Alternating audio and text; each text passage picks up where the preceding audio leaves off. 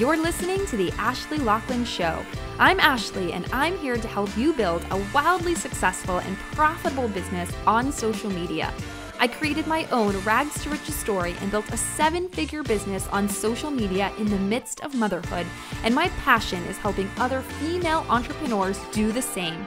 I'm sharing my best marketing, mindset, and sales strategies to help you love the process and scale your business to six figures and beyond. Let's dive in.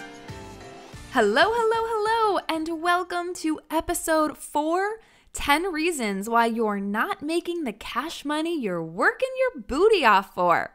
This episode is for the ladies who are grinding nonstop, but just not seeing the cash flow they want. Because I know what it's like to work 60 hours a week on my business and then do the math and realize I'm working for 50 cents an hour. Like, what?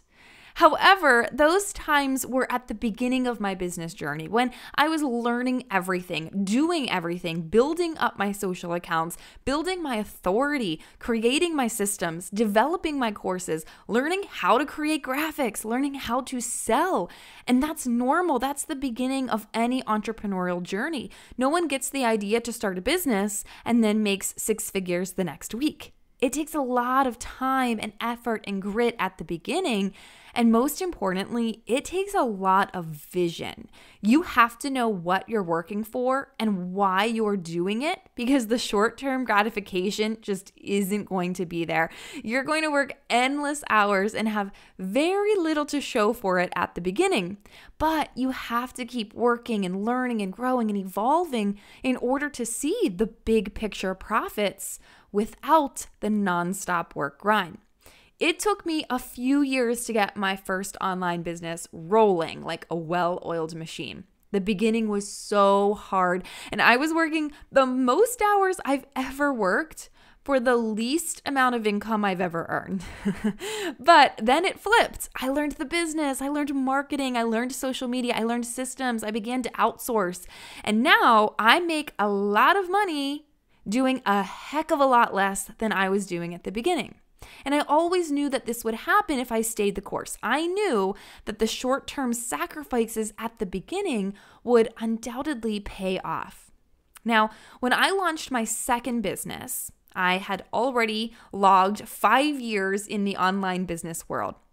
So I had much faster success the second time around, and it was almost effortless to get that second business off the ground. But there's so much that went on behind the scenes that no one saw. So, yeah, I can sit here and say, I had a $20,000 course launch with my first course. This is in my second business. And that's great. But it took eight months of me creating the course, putting in endless hours where I was earning zero dollars off of all that time. And so at the beginning, you have to be willing to put in time without the the uh, reward right away.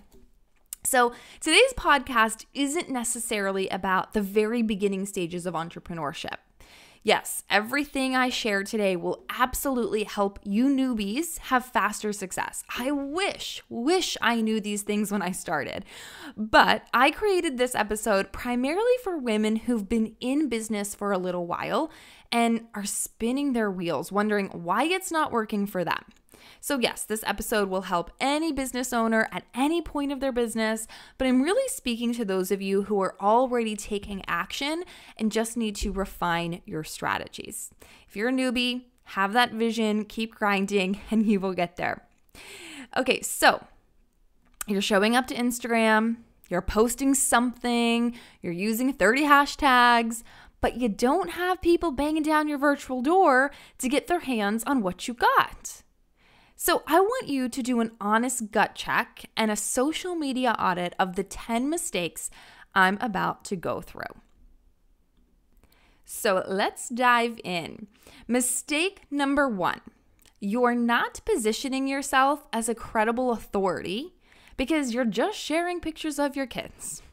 Now, I get it. At the beginning, it's really hard to figure out what to post. So, posting anything is better than posting nothing. So, on a whim, you post a picture of your kids because you know you have to post something in order to be consistent.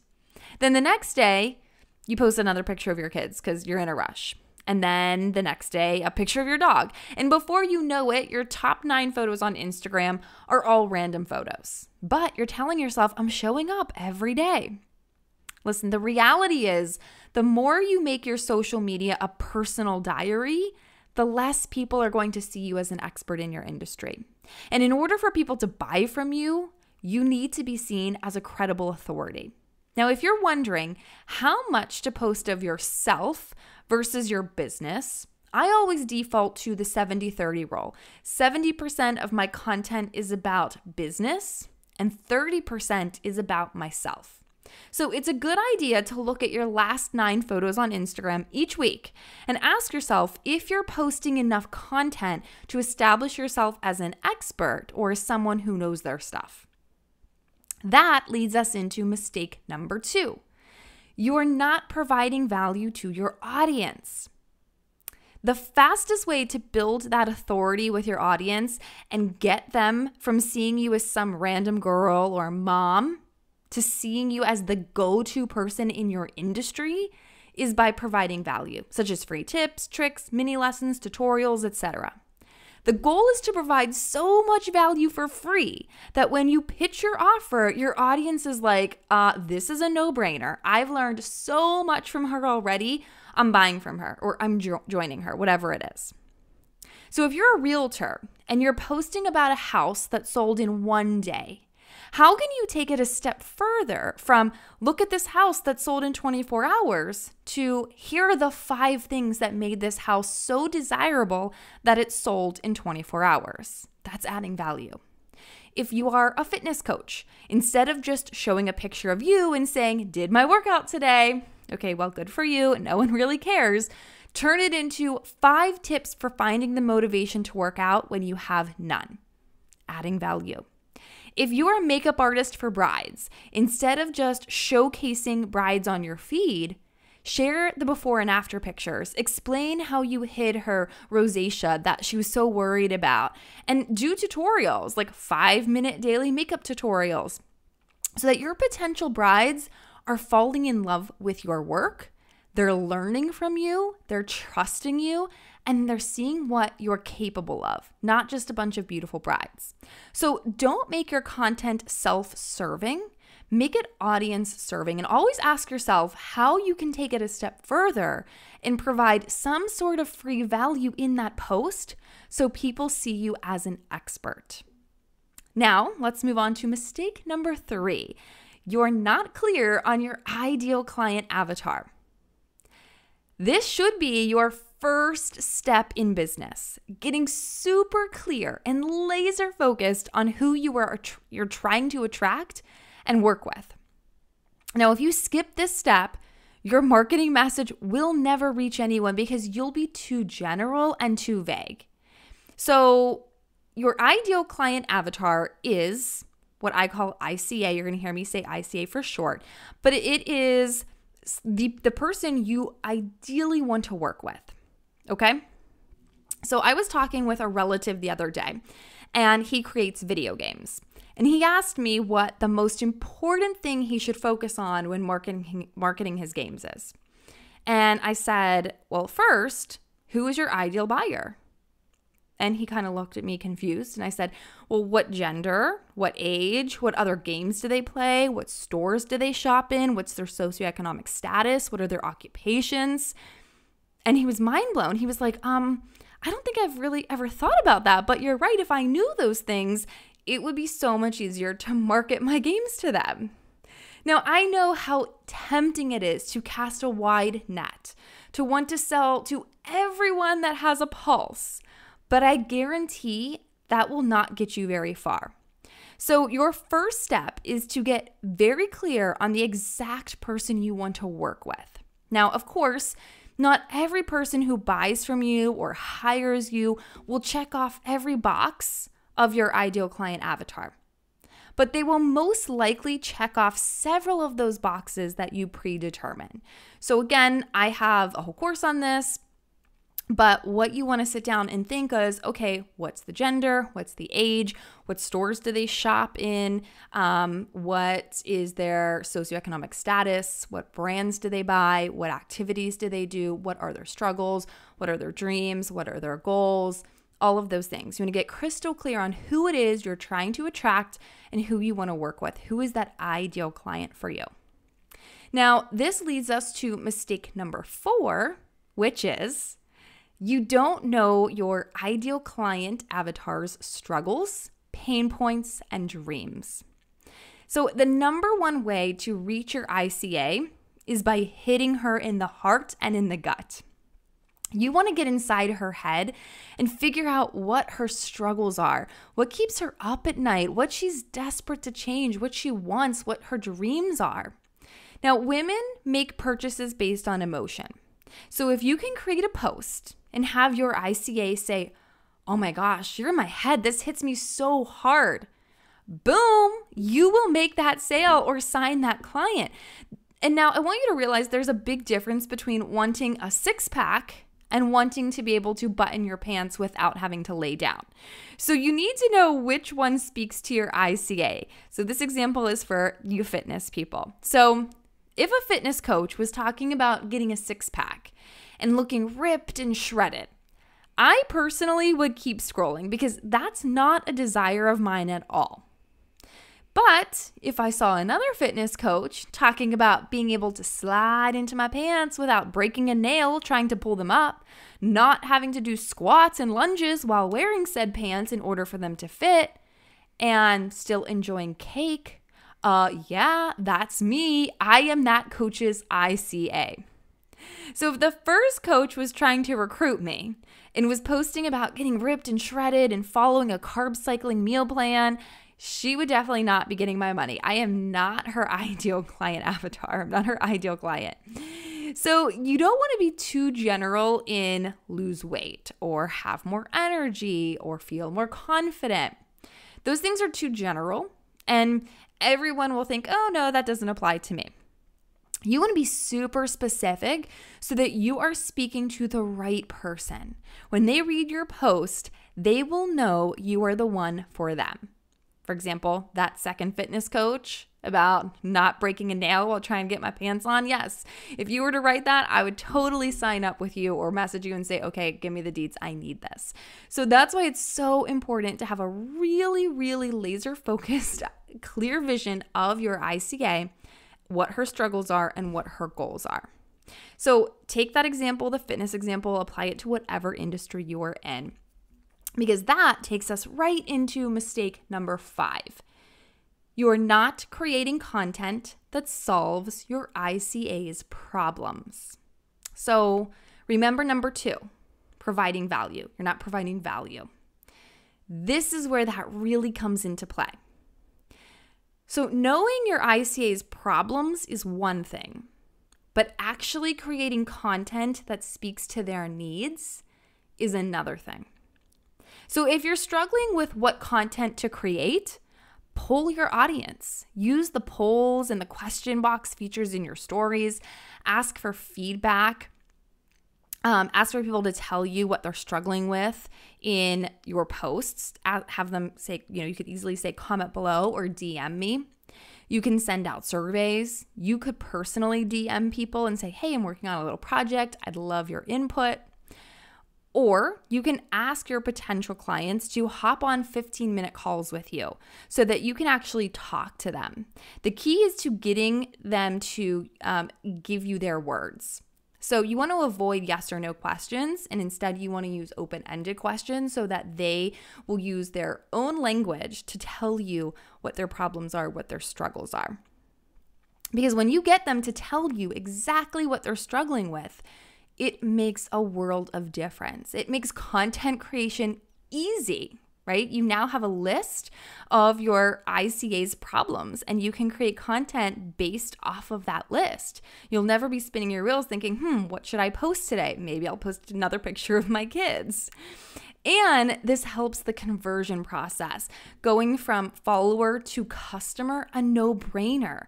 Because when you're providing solutions to their problems in your posts and in your stories for free, you're giving that value, those tips, those tutorials, and then you pitch your offer, your ICA is like, oh my gosh, this girl has helped me so much already.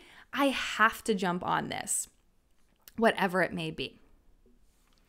If you need help with this, I have the one stop shop solution.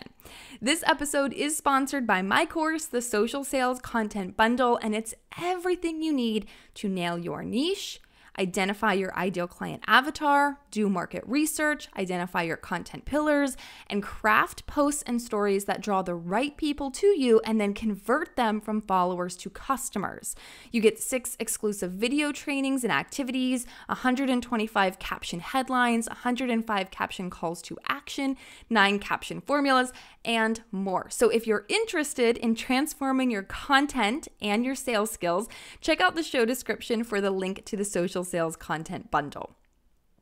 Now, let's slide on in to mistake number six. You're not sharing social proof. Social proof includes testimonials, before and afters, client results, screenshots of messages telling you how amazing your product program offer is. Social proof is a great way to get people off the fence, to show them that real people are getting real results and that it's possible for them too. Always ask your customers or clients for feedback, ask for their transformations, and of course, get their permission to share those transformations, whether they're photos or testimonials with or without their names and pictures. Um, create a folder with these testimonies. This is so huge. I have a Google Drive folder and I upload all pictures, all screenshots that I receive. Um, and then I actually created a document in that folder. And so if I get an email that is pretty long and I don't really want to screenshot it, it has a bunch of other things in there that I don't necessarily want to put out there on social media, I'd have to really cross off a lot. I will just copy the testimony part or the feedback part or the results that they're sharing. I'll just copy those sentences and I will paste them into this Google Doc. So then, anytime I need some social proof, I need testimonies, results, I go to that Google folder and I can access it on my phone, my iPad, my computer, and I have access to the photos that people have sent me, the screenshots I've taken, and that Google Doc with my own copied and pasted results and testimonies that I've received in on various platforms. Um, so so, so, so important to have that social proof. Now, let's dance on into mistake number seven. You're confusing your audience by posting about too many different things.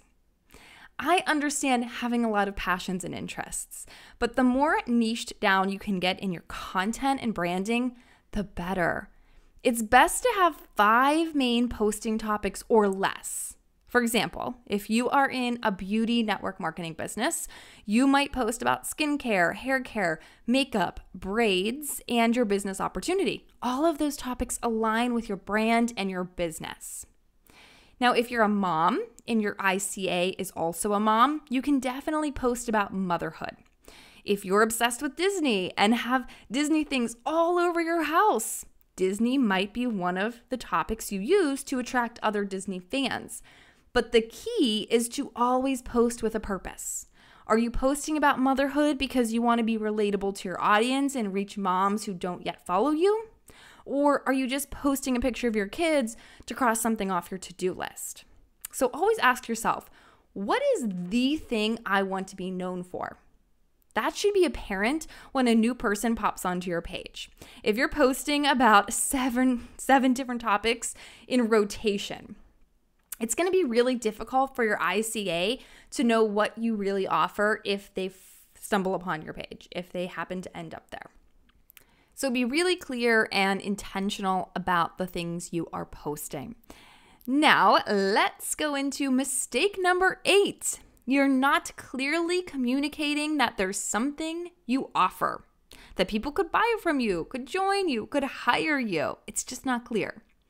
Now, I totally get not wanting to be salesy or annoying, but if people don't know that you offer something, you're never going to be successful.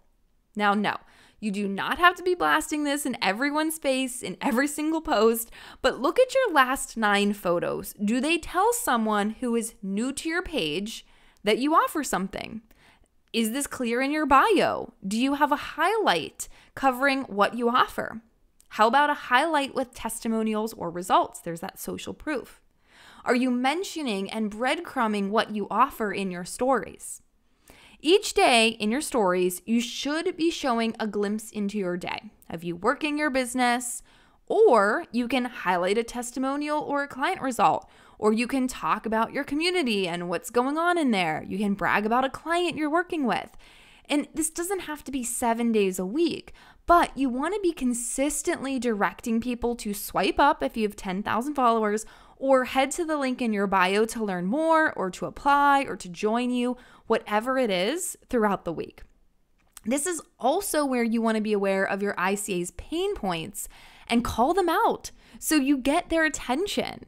Then talk about the solution you provide, the results your customers, your clients have experienced, and then you invite them to learn more or to work with you.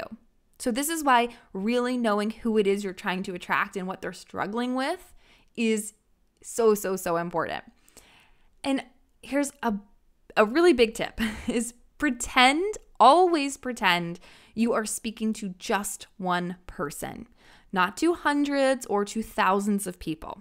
Picture one person on the other side of that screen, whether you're talking to the camera in your stories or you're writing a post for your feed. Speak and write only for that one person. I promise you'll have so much more success with being specific and talking to one person instead of being super general and vague. So I want you to go back and do a social media audit. If I were to stumble upon your page, would I know what you offer and who you work with? Do that little assignment. Next mistake, number nine you're not building genuine relationships and engaging with others or talking to qualified leads in the DMs. Listen, the magic happens in the DMs. It's where you can really build relationships with qualified leads and close sales. I am not a fan of cold messaging random people and asking them to join you or buy from you. But I am a fan of having natural, organic conversations with people, either by creating content that gets them to message you or you messaging them based on something you saw on their page. Now, DMs are also a great place to serve your audience.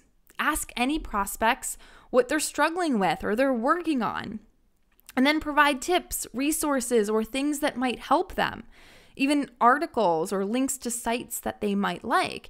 And this doesn't have to be all about your business. So if you're in health and fitness and you're talking to someone in the DMs, yes, you can ask them what are you struggling with and before you make that pitch, you can offer them free advice.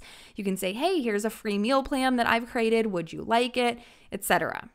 Or you can talk about things that aren't related to your business. So for me, a lot of the relationships I built started with baby talk. We would talk about baby items or strollers. And then when I would find something that I knew that person would be interested in, maybe a lactation cookie recipe, right? I would send it to them. That wasn't about my business, but it was about something we had talked about. I knew that they were interested in. Building trust with people and being a real person is so important. So I love this little imaginary scenario. It's actually not that far fetched. So imagine you were dropping your kid off at the first day of preschool, first day. You wouldn't walk up to every single mom there and say, Hey girl, I love your style. Want to join my team or buy my product? Can you imagine what the other moms would do? They would push their kids into that classroom so fast and make a mad dash to their cars to avoid you. But you would start small talk. You would say to another mom, I love your bag. I've been looking for one big enough to carry all my stuff. How do you like that one? I've been considering that brand. You would start to build real relationships with those other moms. You would get to know them a little bit before you started pitching them on your products and services, right? So do that online too. Don't be the person people run from. Talk to others like you would talk to them in real life and build those relationships. And as you continue posting and adding value, those DMs will naturally lead to them saying, So I've been seeing your posts and I think I, I want more info. Or you can extend that hand and say, Hey, not sure if you saw my last post, but I'm hosting a free challenge and I think you'd be a great fit and rock it. Can I send you more info? It will be so much easier. And those messages will be so much more well received after you've been talking to someone than if you just send cold invites and cold messages. So be a real human, be normal in the DMs. And lastly, mistake number 10 your mindset is all wrong and you're too caught up in the comparison game. I honestly believe that you need more mindset work than you need strategy work. Because if your mindset is all wrong, if you're constantly telling yourself you're not good enough, not creative enough, that it's taking you too long, that you should be further along, that you'll never get there, if your spouse isn't supportive and your family and friends are questioning you and making fun of you, you could have all the strategy in the world, but your self doubt, your self questioning will be a major roadblock to your success. Now, it's so easy to get caught up in the comparison game and see someone else slaying it while you're struggling. To see someone who started after you making more than you, to get caught up in the vanity metrics of so and so is getting more likes than me. And you might fall victim to imposter syndrome. But I want you to know that this is all normal and you are not alone. When I first started my online business, my husband told me I'd embarrass us and never stick with it. My friends literally made fun of me. And my family kept asking, why in the world would I waste my education and give up my safe salary to build an online business? I kept looking at others who were having faster success. I kept wondering how long I could fake it until I make it. But the one thing I had was confidence in myself and an unwavering work ethic. I told myself, no one believes in me, but I'm going to prove them wrong. I'm going to be wildly successful and then I'm going to rub it in their faces and say, I told you so. And I kept reminding myself that slow and steady wins the race. This is a marathon, not a sprint. And that I wasn't faking it, that I did have value to share with others.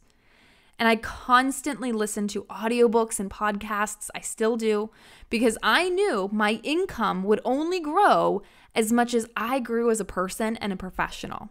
So I applaud you for listening to this right now. But I want you to put your blinders on, to stop comparing yourself to others, to stop comparing your chapter three to someone else's chapter 33. I want you to believe in yourself and know the only way to fail is to quit.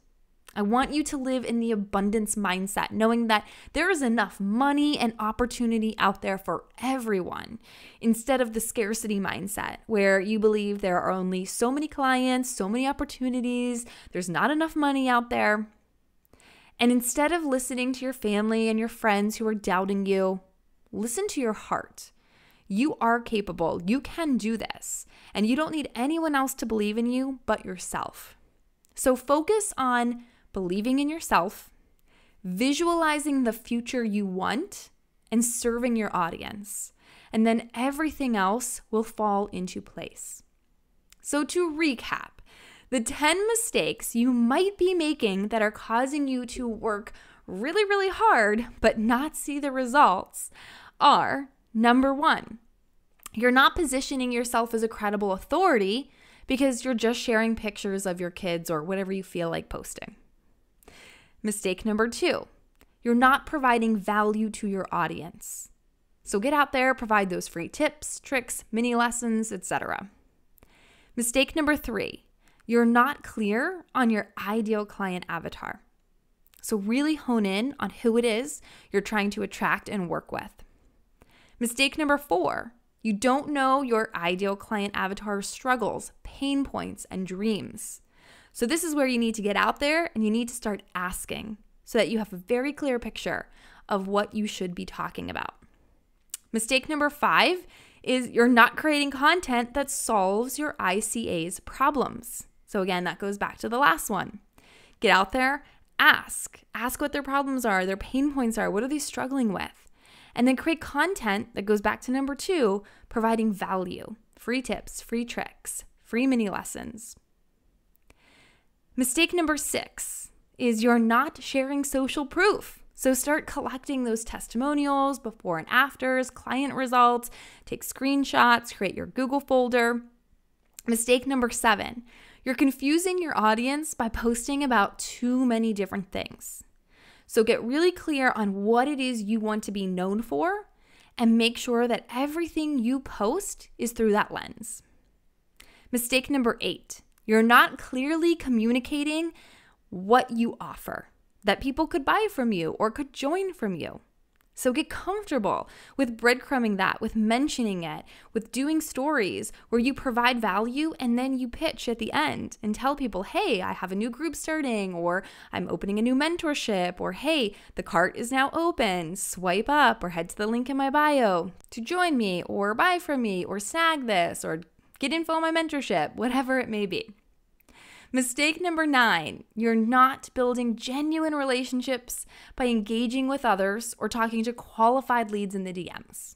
So do not be afraid of your DMs. Use your DMs as your place to really nurture your audience, your prospects, those qualified leads. Talk to them like a real human, provide resources, trainings, tips, whatever you can to help them, and then you will sell them. And then lastly, mistake number 10 is your mindset is all wrong and you're caught up in the comparison game. So put your blinders on, believe in yourself, do all the personal development you need to do, but just get out there and crush it as you work on your mindset just as much, if not more, than you work on your skills and strategies. And that is our wrap. I hope you found this episode helpful. I'd love for you to take a screenshot, tag me, tell me what you thought of the episode, and then go out there and make those money moves. Thank you so much for listening, and I will catch you on the next episode.